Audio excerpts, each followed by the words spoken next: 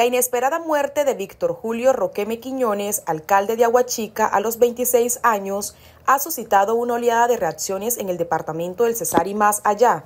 El joven mandatario falleció el 20 de agosto en Bucaramanga a causa de un paro cardiorrespiratorio tras haber presentado malestares durante las celebraciones del 276 aniversario de su municipio aunque Roqueme Quiñones había superado una leucemia años atrás, el estrés derivado de sus responsabilidades como alcalde pudo haber contribuido a su recaída, resultando en su deceso. Diversos líderes y figuras públicas han expresado su consternación y tristeza ante la noticia.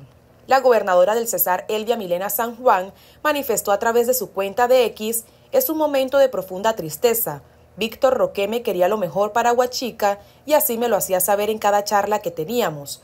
Valoro la entrega con la que llevó los destinos de este municipio y hoy pido a Dios consuelo para su familia y todos los aguachiquenses.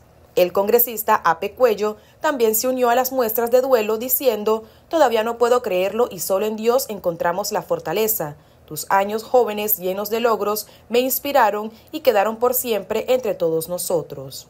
Ernesto Orozco, alcalde de Valledupar, expresó queda con nosotros su juventud llena de logros y su entusiasmo a una vida de servicio. Un abrazo solidario a su familia, amigos, equipo de gobierno y al pueblo de Aguachica. Hermes Martínez, alcalde de Curumaní, se mostró igualmente afectado. No puede ser cierto, mi colega y amigo, esta noticia me tiene muy triste. Tenías mucha nobleza en tu corazón y ganas de vivir. Dios lo reciba en su santo reino. Alexandra Pineda, asesora de la Agencia Nacional de Tierras, reconoció el compromiso del fallecido alcalde con la reforma agraria. Reconocemos la disposición y compromiso del alcalde Víctor Roqueme, que en paz descanse, en la implementación de la reforma agraria. Expresamos nuestras más sentidas condolencias a sus familiares y al pueblo de Aguachica. Dios les dé la fortaleza que necesitan en este momento tan difícil.